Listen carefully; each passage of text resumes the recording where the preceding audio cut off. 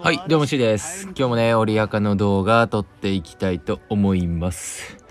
今日は、あのーここ最近ね、あのー芝居の動画ばっかりあ上げてたんだけど、みんな芝居ばっかり見るから、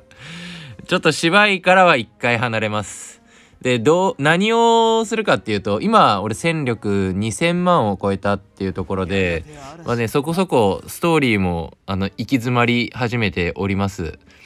で、えっと、一回これ、声見せようかな。で、えっと、芝居、めちゃくちゃ育ってるんだけど、俺のやつ。それでも、結構ダメージが通らなくなってきて、ちょっとごめんね。で、ダメージ通るやつが、固定ダメージと、あの、周囲の、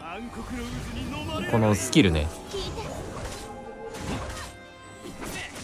でのダメージがほとんどでなんかあとは深部っていう感じなんですよ。今日は何をするかというと深部強いよっていうのをちゃんと伝える動画になります。見てもらえば分かる通りのまあ気力下げるのはねそれはまあ役に立ってるんだけどダメージ源がめちゃくちゃ限られてきちゃっててこのこんだけ育成するキャラを絞ってても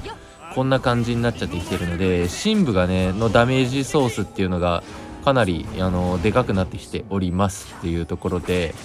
どの深部を行けばいいのかみたいな話をこの後にしたいと思います。でなんでこれやってるかっていうとそのストーリーだとよ分かりやすいんだよねこの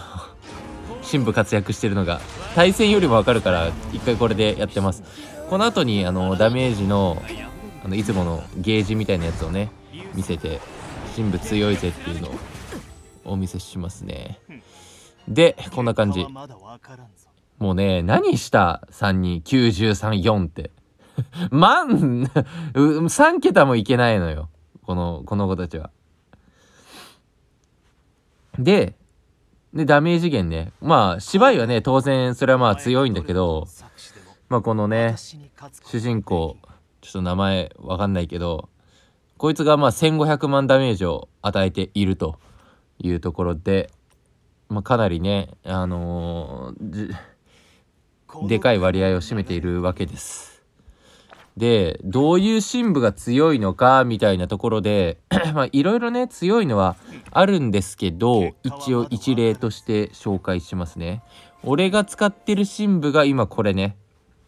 まあ変える予定なんだけど弓とひょうたんと槍を今使ってます。ひょうたんはね単純に回復ソースとして使ってて弓はもう火力があって槍はちょっと理由なく使ってます。かっこよかったから使ってます。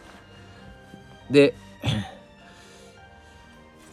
これもねいろんなあのー対戦対戦というか PVP だったらこれなんだっけ？歌詞歌詞の壁？これが強いとかいろいろあるんだけどまあね汎用的に使えるのは何かなっていうのなんですけどまず弓とひょうたんはもういいの。これ強いので。使ってる人はわかると思うんだけどかなりダメージ入るのね。ランダムであの今の状態だとこれか、えー6つ。あの火の火の雨。まあ、弓矢を6発撃ち込むんですけど、まあ、ランダムで最初入るんだけど、まあ、キャラ数が減れば結局その1体に集中して6発を撃ち込むっていう感じになるのでかなりねあのダメージソースとして重宝してますこの弓は。マジで強いと思うんでこれまずまずじゃないやまだ使ってない人とかは是非使ってください。で次。まあひょうたんねこれもさっき言った通り回復源なんだけどあの育ってくるとねデバフを解除できるっていうところで、まあ PVP とか PVE とかでなんかちょっと強めのねデバフとかをかけられた時にはあのこのひょうたんが結構生きてくるっていうところで。あとはまあ回復源がねキャラでいない人とかももう俺一応なんだっけ細分岐か持ってるんだけど、まあ、ちょっと足りない感あるから、まあ、これで少し補いつつ、まあ、次でねあのデバフも解除できるようになるんで星さんからちょっと期待してるっていう感じですね。で3つ目なんだけど槍じゃないんですわ強いのが斧ですね。でスキルなんだけどまあ育っていけばあの敵後衛を攻撃し60%のダメージを与え深部スキル非ダメージを30%上昇させる戦闘終了まで継続っていうところでまあ順番的にはあの斧を先頭に持っていくっていうでひょうたん最後にするっていう感じになると思うんだけどあの後衛を枯れるっていうのがねもうめちゃくちゃでかくて あのやっぱダメージソースって、まあ、芝居を除いたら基本は後ろにいることが多いからまあ、馬長とかそういうのもそうだけどなので、まあ、後ろのキャラを早めにこの斧とかを使ってごっそり持ってってあとはもう他のキャラで倒しに行くとかそういうところもできるのでこの斧はあのー、入れた方がいいですね。もう俺も入れるんですけどまだちょっとね間に合ってないっていうところで。でこれね今あの35なんだけど、まあ、どの新部も同じことが言えるんだけどえ、っとねどこまでいったら星5かな？星5までいくと確かあのー、2になる2になるっていうかあの25になるのかな？消費が確か。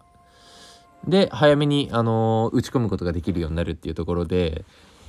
キャラクターのね、育成も大事なんだけど、後々、まあ、キャラって結局 UR5 で、まあ、ゲーム出てるか出てないかとかもあるんだけど、そこで止まるんだけど、このね、深部のダメージソースが、もう、第7のキャラみたいなイメージになってくるんで、しかもエース級の強さを発揮してくれるっていうところでね、その、試合終了までずっといるから、主人公は。なので、この深部をまずあのまずというかそのキャラクターエース級がいて次に深部みたいなそのレベル感でもいいと思うので是非ね深部の育成、えー、優先して進めてみてください。で俺のおすすめはさっきも言った通り弓とひょうたんと斧です。是非あの使ってみてください。では今日の動画はここで終わりたいと思います。あの この動画、あの、オリアカの動画引き続き上げていくので、ちゃ、オリアカやってる人はチャンネル登録と高評価よろしくお願いします。じゃあ、バイバイ。